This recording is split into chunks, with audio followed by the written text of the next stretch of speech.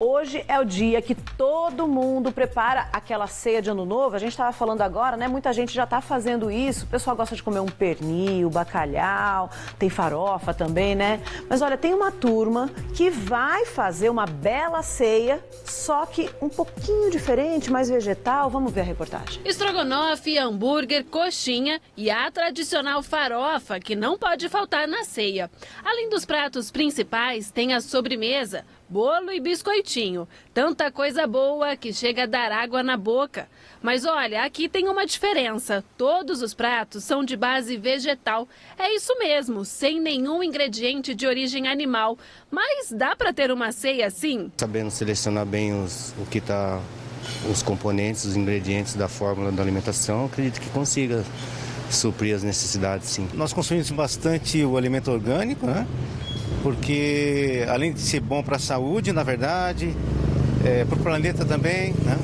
o meio ambiente. Nessa loja, esses produtos estão fazendo um sucesso, tanto para quem segue esse estilo de vida, quanto para quem está afim só de experimentar. Como o, vegetaria, o vegetarianismo e o veganismo hoje em dia tomou uma grande proporção pela mídia, acabou aumentando quem os curiosos, né? E até pessoas que não necessariamente só os vegetarianos, também os curiosos querem experimentar coisas novas. Uma pesquisa do Ibope Inteligência mostrou que 14% dos brasileiros se declaram vegetarianos e que a procura por produtos veganos tem aumentado. Quem sabe bem disso é o Tiago, que tem um restaurante e trabalha com esses produtos, encomendas para ceia, né, Tiago? Mesmo.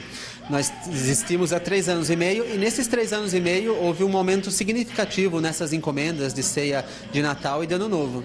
O pessoal tem procurado mesmo essa alimentação, acho que mais saudável seria isso? Isso, é mais, mais saudável, sem enlatado, sem industrializado, então uma coisa, uma comida limpa que a gente chama, né? E é realmente uma tendência. Um estudo aponta que 63% da população gostaria de diminuir o consumo de carnes. E olha, opção não falta. Arroz com lentilha, tabule, brownie, pudim de tapioca, granola salgada e rocambole de soja. E quem preparou todas essas delícias foi a chefe Talita. Talita, o legal é que cada um deles tem um significado também, né? Sim, são pratos escolhidos mais assim nessa época do ano, porque a lentilha que traz que tem, né, o mito de trazer sorte no final do ano, tem comendo ano novo e tal, né? O rocambole que as pessoas, quem está na transição de parar de comer proteína animal, é uma boa opção, que ele tem um gosto defumado, que a gente faz com berinjela defumada. Então é é uma boa opção para o pessoal que está parando de comer carne e nessa época do ano tem um monte de proteína animal nas mesas, a mesa farta, então acho que é uma boa opção. Mas e o sabor, hein?